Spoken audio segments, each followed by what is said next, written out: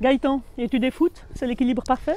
Oui, là je remarque que justement en faisant quelque chose à côté du foot, ben, je vois que, que je me sens aussi, aussi mieux sur le terrain. Et puis je me verrais mal euh, devoir euh, renoncer à ces études parce que je pense que je perdrais un rythme qui, qui m'est favorable. C'est toi qui vas marquer le premier but en Super League?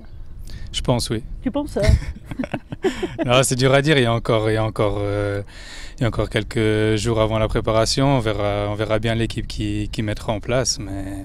Tu vas jouer face à ton frère qui évolue à Thun. C'est un plaisir ou un supplice?